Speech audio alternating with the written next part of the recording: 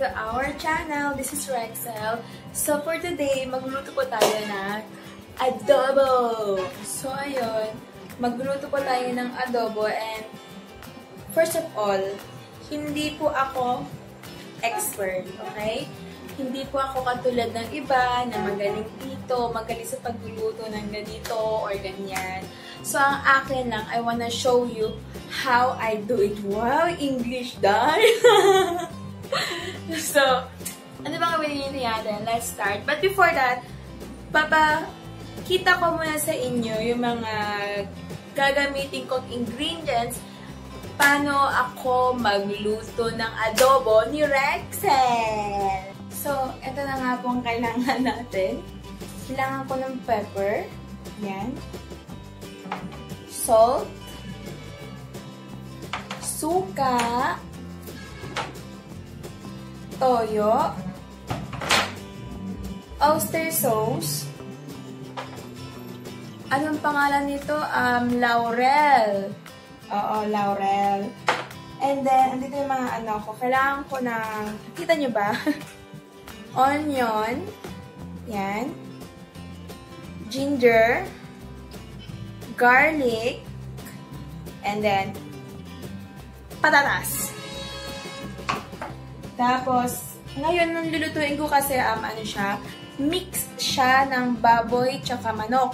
So, mayroon ako dito na manok. Uh, where's yung ba manok? Ito yung manok, yan, manok, and baboy. At saka, hindi, syempre, hindi mawawala ang pineapple tidbits. Yan. Kailangan ko rin yan. So, let's start? Ayan, pinapa, pinapainit ko na yung kawali. So, ayan, ilagay natin yung luya. Hindi na ako naglalagay ng ano, ng, atawag nito, ng, ay, sayang yun, ng mantika kasi, yung mantika tsaka baboy, magmamantika rin naman yun, di ba? Tama ba ako? o naggagawa-gawaan lang ang bot. Lagyan na natin kayo lahat. Diba? Yan. Diyos mio. Hayaan nyo lang siya magganyan. Kasi, magbamantika naman siya. Okay. O, diba? Ganyan lang.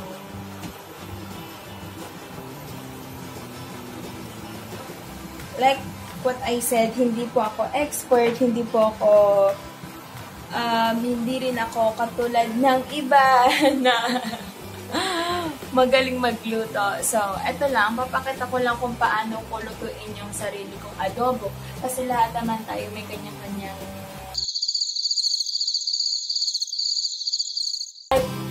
basta magluluto. so this time, nilagyan natin yung bawang at sibuyas.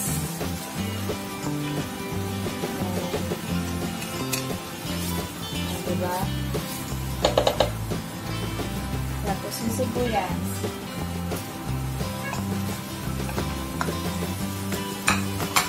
Kasi nagmantika na yung karne.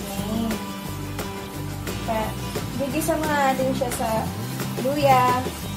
Tapos niyan, pag nag-brown na, ilagay natin siya sa ilagay natin yung bawang tsaka sibuyas. Hindi ko alam.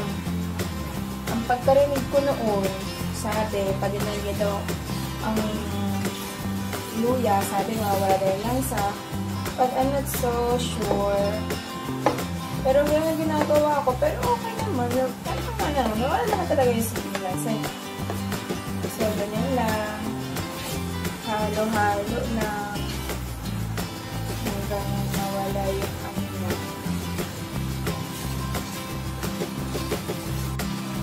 And yan. Tapos ilalagay ko yung patatas. Tapos, stir lang natin siya.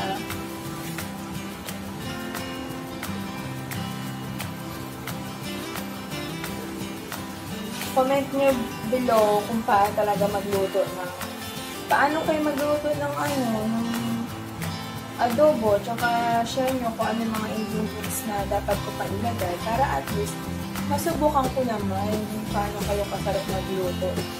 Diba? So, stir lang natin siya ng siguro 2 to 3 minutes hanggang mag parang mag parang ka-crunchy lang natin yung potato para mabilis na siyang ano, mabilis siyang lumambot.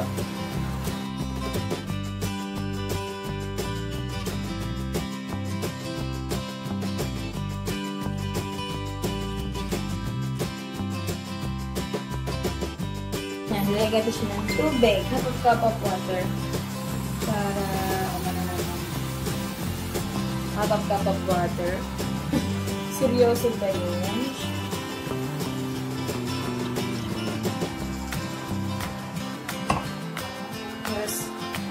Yan, hintayin natin siyang kumulo. Kasi kailangan, ako, mahilig ako yung sa adobo na may sabaw. Kasi masarap nga naman. Basta ilagay mo sa kanin. Ah, sarap! Guys, parang tinola. Pero okay lang yan, ganyan talaga ako magluto kasi gusto ko may sabaw nga. So now, lagyan, maglalagay tayo ng soy sauce. Hindi ko alam. Basta, lagyan tayo ng soy sauce. Ay!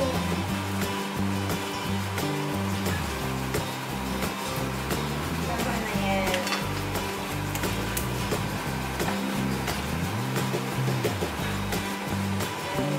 Kalat natin siya.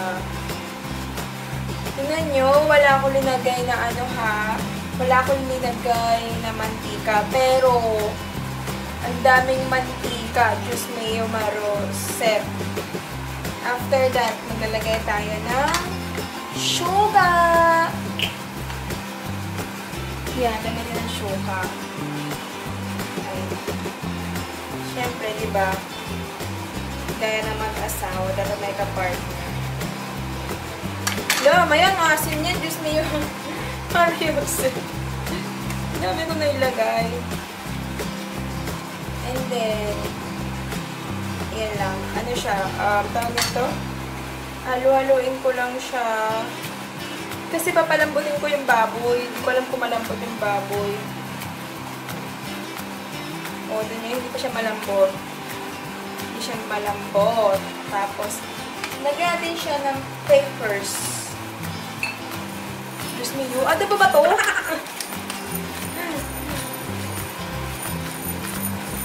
Yan, lagyan ng pepper. Masarap ang pepper. And then, maglalagay tayo ng bay leaves. Siguro mga dalawa lang or tatlo. Tama na yun. Ako dinudurog ko eh. Hindi ko alam sa inyo ah. Sa akin dinudurog ko. Tapos, haluin na natin siya. And then, palambutin na natin siya. Dapat tama lang yung ano. I think yung tomato malambot. Ay, hindi pa. Hindi pa malambot, hindi pa. Ipagkatigas-tigas pa siya, dahil. So, kailangan nating palambutin talaga ng bongga-bongga yung ating mga karne. So, natin siya. Tapos, itakpan na lang natin siya.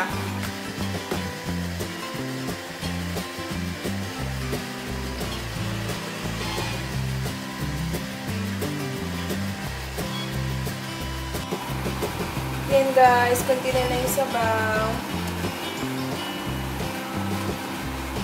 Hello. I hope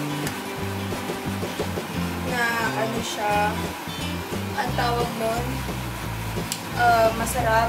Init ko lang yung kanin kasi init pa naman siya, so hindi ko na iinit kasi baka malumutong siya.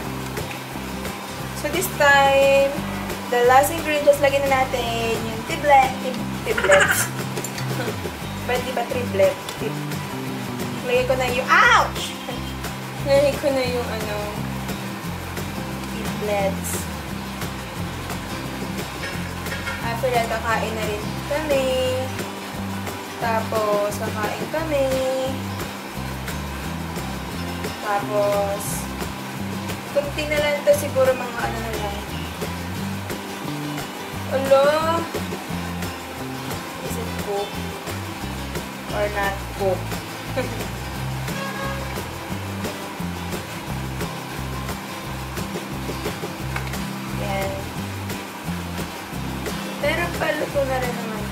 Okay na to? Actually, luto na nga siya. Hindi ko lang alam sa karne. Dapat pala, no, hiniwa ko siya. Kasi binili ko siya sa Robinson. Ano siya, adobo cut. Kaya sabi ko, iwain ko ba ba? Siguro wag na. So, yan na siya. Tipan natin.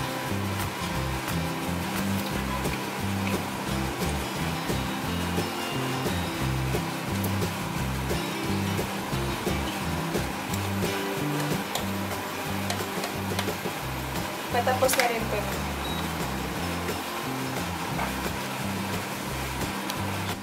So, yun na siya guys. Patuyo na. Inaan ko na rin yung apoy. Tama na yan.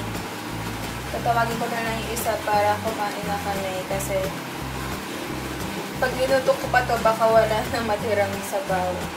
Gusto ko pa naman yung sabaw.